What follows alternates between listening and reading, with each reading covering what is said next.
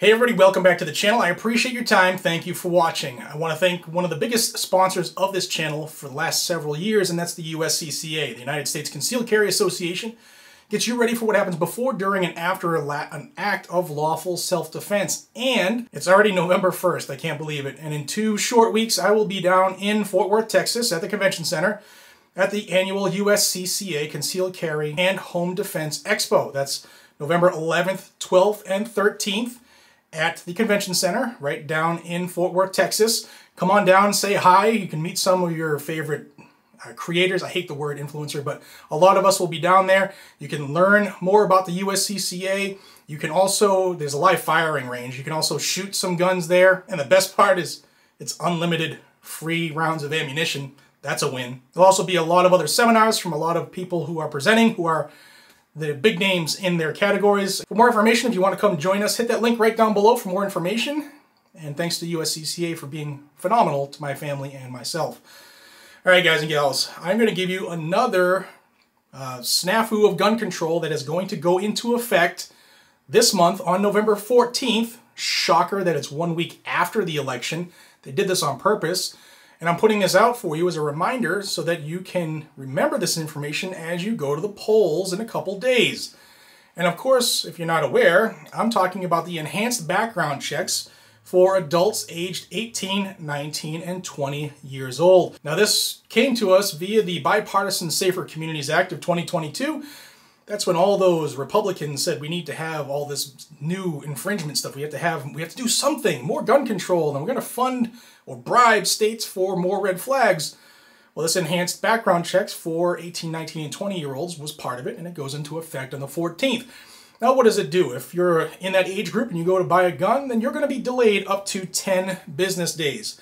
That delay is going to be used so that they can take your name and address and forward it to your state and local police departments so they can do further investigation, basically do the FBI and NICS work for them to figure out if you have any issues that would make you prohibited, such as mental health disqualifiers or now juvenile adjudications. What does that mean?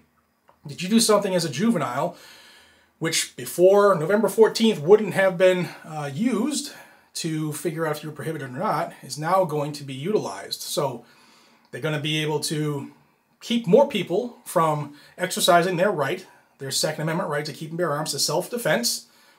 And if you don't have anything in your background, then what they're going to do is that 10-day window can be, business days, can be shortened. Uh, they'll get a, an updated Brady uh, transfer date.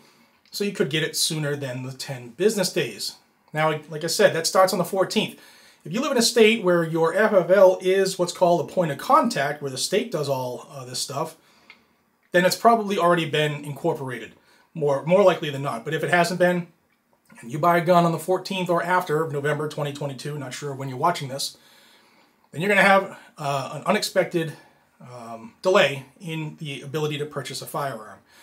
So I hope that angers you if you're 18, 19, or 20. I hope it angers you. If you're 70, it should anger you that they're restricting the rights of people to appease a couple crazy leftists who can't grasp the fact that it's their policies that have created the situations the country's in, where crime is crazy, uh, going soft on criminals only empowers them, and they're going to make more people sitting targets. None of this will stop a criminal.